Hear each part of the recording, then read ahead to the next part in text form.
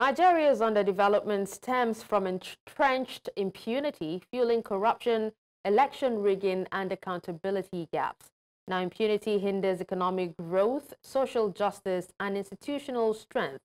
Now, in Jide Ojo's piece, uh, he wrote that to combat impunity, Nigeria needs institutional reform, citizen engagement, anti-corruption education, and leadership accountability. But will Nigeria's next generation of leaders prioritize accountability, tackling impunity's grip to unlock prosperity and growth? That is one of the big questions. Now joining us on the show today, we have Jide Ojo. He is a public affairs analyst. Uh, thank you so much, Jide, for joining us on the show. It's my pleasure, Dashan. Good evening. Good evening. All right, so uh, Mr. Ojo, your article highlights impunity as Nigeria's primary challenge. And you also said, you know, it trumps other factors like lack of rule of law, tribalism, incompetence, self-aggrandizement, religious bigotry, and the rest. Now, can you elaborate on this assertion? Okay, so um, I was just reflecting uh, over Nigeria's uh, development challenge over the decades. We just celebrated 40, 64th uh, independence anniversary a couple of weeks back, uh, early this month on the 1st of October. And everybody has characterized Nigeria as a crippled giant, as uh, underdeveloped, as, uh, you know, uh, a country where anything goes. And, and I just, in, in my reflection, I said, look, um, why many people say, oh, corruption is our number one problem, leadership is our number one problem, followership is the bane. I, I, I beg to disagree with every one of them. I believe that while those may be symptoms of our national malaise, the actual problem lies with impunity. In this country, we reward bad behavior. Uh, people get away with blue murder people do and undo. Here's a country where you see somebody, you know, openly boasting that they will kill another person and nothing will happen. And they meant it. And there have been people who committed murder who went scot-free. Uh, and, and all manner of social malaise. Look at corruption. Uh, people steal in billions. Mm. But what do they get in return? Slap on the wrist. You go for plea bargain. And then you return, if you stole maybe 50 billion, you just return like 2 billion, pocketed the 48 billion, and then you go for six months imprisonment. Uh, I remember a bank chief executive who collapsed a bank, uh, and uh, even after the plea bargain, she only spent six months, and the six months was spent in the hospital under the guise that she's not feeling well. And that and how, how can a country develop when you have this kind of impunity, where people will rig election, openly admitted that they rig election, and they still are never arrested, questioned, imprisoned. Well, I mean, I, I, I just can't, well, well, I just can't wrap my head around the kind of culture of impunity we have in this well, Well, today, we hope you don't mind. We're going to be focusing on your piece today. Uh, now, you also referenced George Orwell's Animal Farm, you know, to illustrate on equal accountability. And you said, you know, crimes and criminality a global phenomenon, you know, uh, that the chances of criminals getting away with their crimes are slim in, in many other countries, you know, but in Nigeria, it is very, very high. Now, how pervasive is this mindset in Nigeria? How bad is it? You can bear me witness that it's very, very bad. It's not sitting. It's, it's mind-boggling. It's heart-rending. I, I bleed. I bleed in my heart at the way people commit crime and get away with this in this country.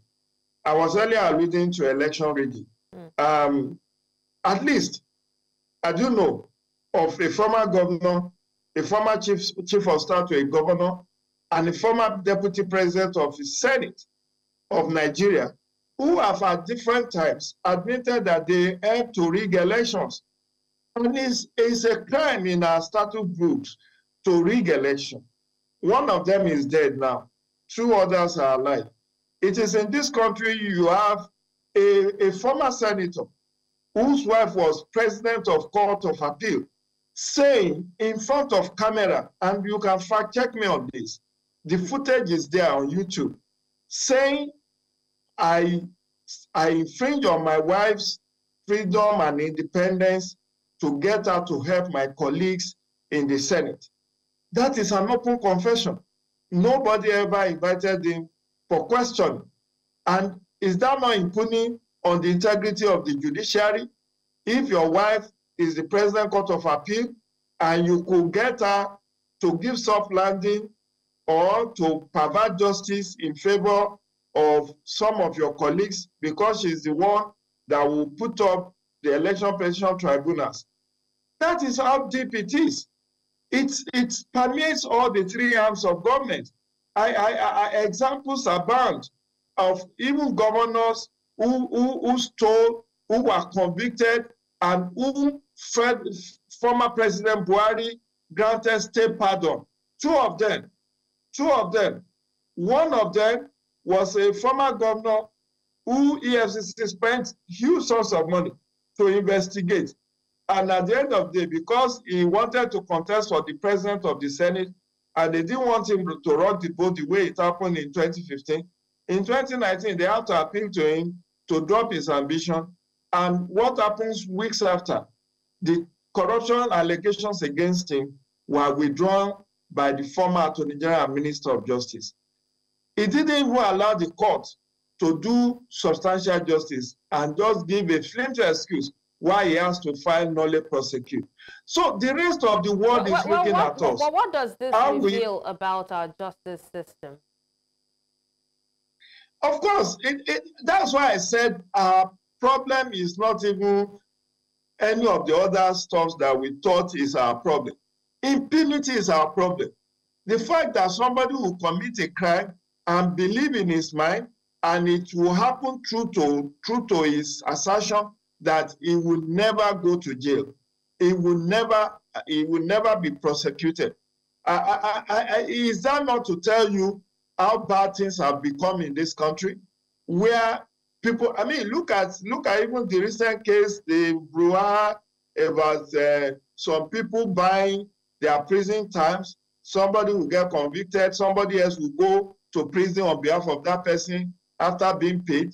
This was not my word. It was the words of Lanesik Femi Falana in 2022, who gave a graphical illustration of how all of this is happening. And you could recall that very recently, the controversial tape of uh, the controversial voice note of uh, the cross-dresser Bobrisky uh, versus VDM. Uh, have witness about the when that that that that um, that thing was leaked on the on the internet, and and in a, in in his confessional statement that you know he didn't go to jail uh, because his godfather stepped in. And of course, the federal government panel said, oh, there is no evidence to support that, but he was only giving you know, uh, special treatment. Even that special treatment, was he supposed to get it? Does he merit being, get, being given special treatment? That's why I said impunity is the number one problem we have in this country. The moment you start to discipline people, the moment people commit a crime and they get severely punished for it, you will see law and order prevail. You will see rule of law in place. You will see that everybody will sit tight. The issue of vote buying in election, is it today that we have been talking about vote buying in our electoral process? How many of the people who have engaged in electoral malpractices since 1999, 25 years ago, do the tabulation of how many arrests have been made by the police and how many successful prosecutions have happened? all of it, it, we have had seven or seven general elections and several obstacle by elections. Yet you hear that social number were arrested for vote buying or for electoral violence or this and that. But after three, six months, nobody gets to hear of anything. Those 1,000 plus people that were arrested in 2023 for electoral malpractices, we learned early this year that about 60, 36 or thereabout case-wise were sent by police to INEC for prosecution. As I speak with you, nobody knows the status of those prosecutions.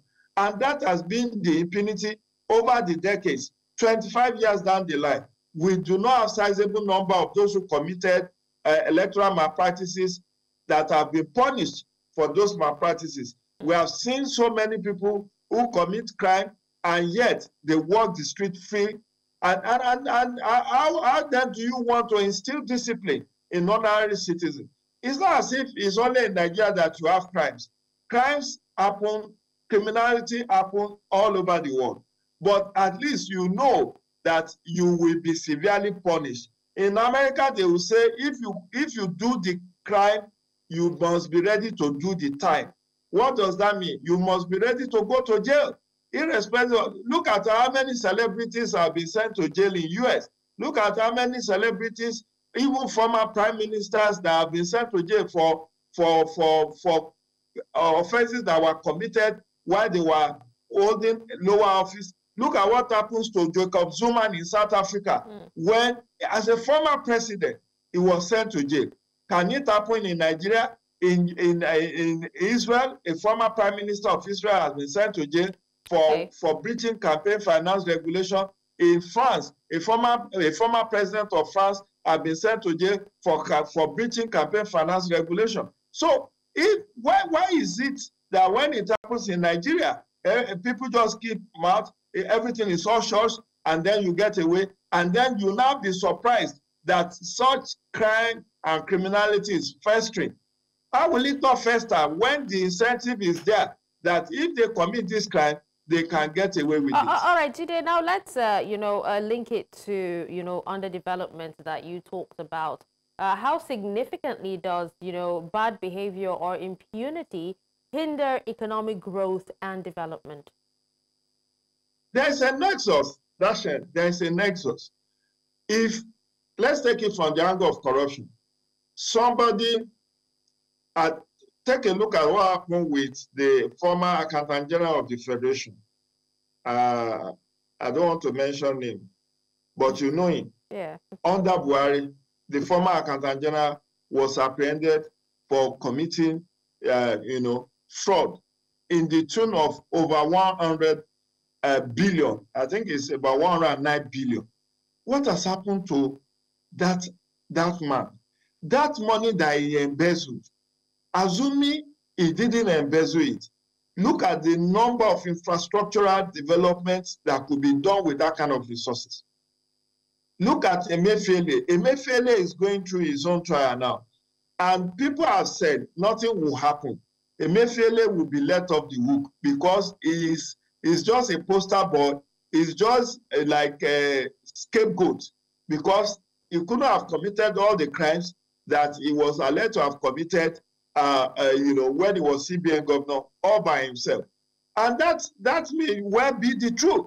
Uh, uh, nobody knows where the case of Emefiele is uh, as of now. And look at the amount of money that he was alleged to have embezzled, the misappropriation in terms of the contract over the Naira redesign project, how he circumvented the, the law to, to commit all manner of malfeasance and all of that. So when you look at corruption, what has been the contribution of corruption to the underdevelopment of this country? You will understand the nexus between impunity and and and and uh, and underdevelopment because when you commit this crime, the assumption is that anybody that steals public fund will not get to spend it. In China, if you are caught for corruption, it's not like there is no corruption in, in China, but you know that if you are caught, the rest assured that you you will die. I mean, they don't they don't think about it twice. Whether you are a former president, a former minister, you get to die.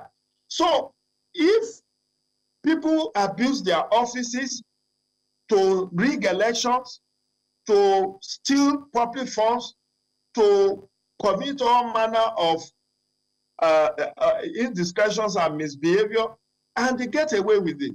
How can how then can the country develop? How can it develop when you when you abuse your office with impunity? You get away with it from the set of governors in 1999 to 2023, how many that have been arraigned in court for committing, uh, you know, uh, act of embezzlement, have, have, uh, how many of them are serving jail terms? Right now, there is an attempt by governors who are starting with the Attorney General and Minister of Justice, um, Attorney General and Commissioner for Justice in Kogi State, they have filed an, a, a brief in the Supreme Court saying that EFCC should not have jurisdiction over affairs of the state. Hmm. And about 16 other governors have joined that suit, trying to make sure that EFCC does not have, uh, you know, uh, jurisdiction themselves. over whatever happens within hmm. their state. That means they can still with impunity. That means whatever abuse of office they commit, they can get away with it. And when you now look at what this, what the, the opportunity cost mm. of this abuse, of this corruption, of this misbehavior, it is what is robbing us of that development.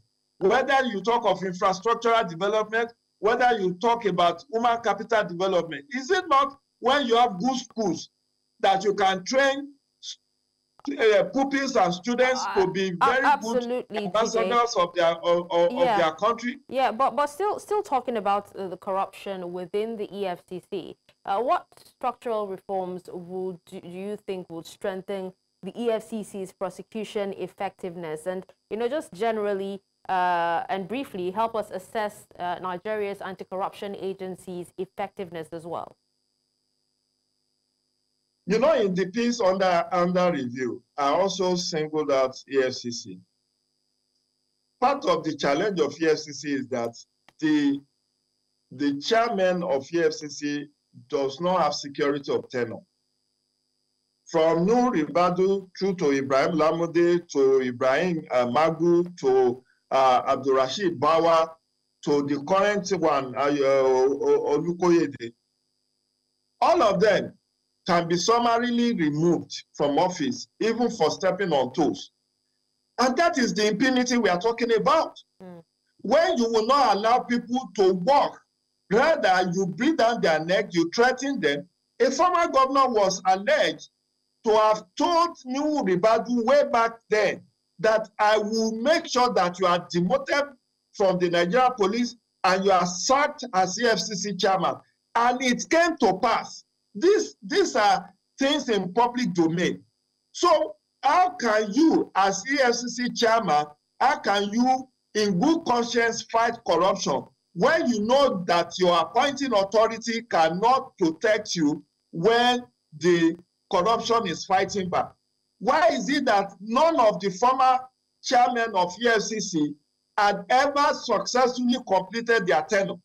They are always alleged to have abused their office to have corruptly enriched themselves, but none of them have been prosecuted. Is that not impunity? If you allege that somebody abused his office, should you just say, okay, we, we sack you, or that you are retrenched or you are suspended, and from there you just appoint somebody else, and the person can go and spend his loot? That's assuming without considering that the person actually abused his office. And that has been the series of allegations from from Nuhu Ribadu to to Farida Waziri to Ibrahim Lamode to uh, Ibrahim Magu down to Abdul Rashid Bawa, the youngest of them all, who happens to even be from the EFCC academy.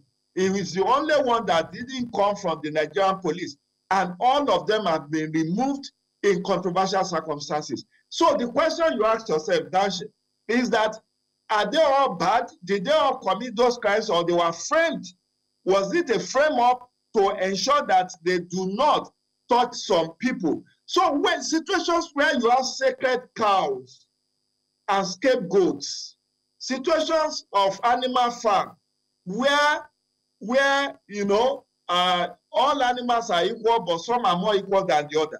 How can that guarantee efficiency and effectiveness within the Nigerian uh, anti-corruption agencies? And let me also shock you. The case, uh, there's a case under investigation. Uh, Bobrisky, that's uh, uh, Okune, uh, Bobrisky versus VDM. You know part of the revelation mm. from the voice note was that the EFCC officials collected 50 million naira bribe yeah. to drop money laundering charges against Okuneye, that's Bobrisky. Mm -hmm. That in itself is under investigation. And so many Yahoo boys who have been previously arrested by the, by the EFCC have come forward to say that some of the properties and money seized from them were never documented in the office. That these people just seized it and confiscated it and started using those properties. So this is part of the challenge. How do you weed out the bad eggs within that anti-corruption agencies? Why is there no guarantee of tenure for the chairpersons of EFCC? In, in, in the case of in the case of uh, judges, you cannot summarily sack the judge without first going through the National Judicial Council. But in the case of EFCC, it just takes a, a, a, a, a statement by the presidency to say you have been removed. Look at the case of Bawa. Bawa was removed or suspended yeah. and was alleged to have been under uh, DSS, uh, DSS detention for like three, four months. And then the next thing, he was quietly removed and uh, somebody was named in his replacement.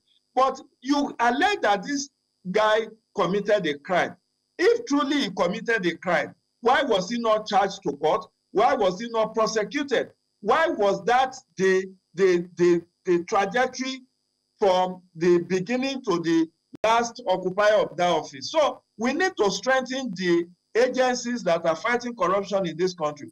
One, we need to ensure that they are well resourced. Uh, uh, we need to ensure that we, we, we also guarantee their tenure of office. We need to also pro, uh, ensure that they, they are properly oversighted. We need to also ensure that the Attorney General and Minister of Justice, under whom they serve, do not have uh, uh, undue interference in the activities of the uh, all right, EFCC. All right, Jide, now, now what about the case of uh, Farouk Lawan, you know, who has actually served his term and was released, uh, you know, recently? That's the former lawmaker and also the case of uh, Ganduje, which is actually still in the works. Can these cases be singled out? I can't single out Ganduje's case. Ganduje's case is not going anywhere. You know, it's not even EFCC that is prosecuting Ganduje. It is the Kano State Anti-Corruption Agency that is prosecuting Ganduje. It's not EFCC. And in case of uh, Farouk Lawan, this is just one out of how many dozens of cases. Farouk Lawan is just one out of so many politically exposed persons that have been indicted for abuse of office and for corruption. So if only, I mean, uh, someone, I think it was Benjamin Franklin, that says laws are like cobwebs, where the small flies are caught, and the big ones break through. So when you have this double standard, and don't also forget that if Farouk Lawan had been the, the, in the good book of the government of that day, mm. he could have escaped justice, just like many of them did. Uh, I mean, there are so many oh. governors who are under EFCC indictment who still goes ahead to contest election and come to the Senate and start making laws for us. Is that not impunity? Uh, Somebody right. is under investigation and yet you you could not buy him from contesting election mm. and he comes and becomes a member of the upper chamber of the national assembly start making laws and the case winds on takes on over 10 years to prosecute justice delayed is justice denied there, there was administrative administration of criminal justice act of 2015 which says all criminal cases should be dealt with within six months or thereabout why is that law, that act, Administration of Criminal Justice Act, why is it not in, being implemented? We, why is it that, that anti-corruption cases still drag on for eternity, mm. eight years, ten years? Why is it dragging so so so long? Why the impunity? Why the filibustering? Mm. So these are questions because it impacts on our development, and that's why I'm concerned and that's why okay, so, I, so what I about, didn't want what to mention these, these citizens now? You know, what role can they play? Uh, and I remember back then when the uh, whistleblower policy, uh, you know, was uh, in, in place, you know, and it was really effective. What protections should whistleblowers have, you know, to safely report corruption? Dashen, That's part of the impunity. That's part of the impunity. In 2019, was it 2019 or earlier, the Buhari administration started this policy, whistleblower policy, where they incentivize those who will help in the fight against corruption, says, saying that, okay, if you if you tell us, give us information about a corrupt person, uh, we will reward you with 5% or 7% of whatever we are able to recover. Why is it that they left it at the policy level? As I speak with you, the law to guarantee protection of whistleblowers is just kept in view in the National Assembly. They deliberately did not pass that law. It's been there for how many circles now? They have refused to pass that anti-corruption law, which will safeguard and protect both the person and the family of whistleblower. And you cannot fight corruption through whistleblowing by just incentivizing people with money. What if they volunteer the information and their lives are threatened or they are even eliminated? The way whistleblowing works in other clients, like in US, if you are a whistleblower and you know that your life is in danger, the American system will take care of you. They can they can change you, they can remodel you, they can they can spend last dollar to make sure that you and your family are protected, even if it means relocating you to another country where you will be safe. They will give you a different identity. I've read a novel that speaks to that. And, and that's why you see Americans volunteering information about the uh, nefarious activities of criminals in and around them. But if you do that in Nigeria, you may not live to spend that money that you will get as a reward for your whistleblowing because the system will just expose you. In fact, you will be surprised that your identity, which is supposed to be anonymous, could be revealed. And then the criminal will come after you, after your family, and may even wipe up the whole family if care is not taken. All right. Well, uh, sadly, uh, quite an interesting conversation, uh. Uh, this is where we actually have to uh, end this. Thank you so much for speaking to us on this. Thank you. We appreciate you for your time. I, I, I thank the management and, and staff of uh, New Central TV for, for also providing this platform. And I want you to take on this and, and let it be a national discourse because we need to collectively fight this impunity if we want our country to develop. Thank Definitely you for the opportunity. Will. Enjoy your weekend. Thank you so much, Jide Ojo, Public Affairs Analyst.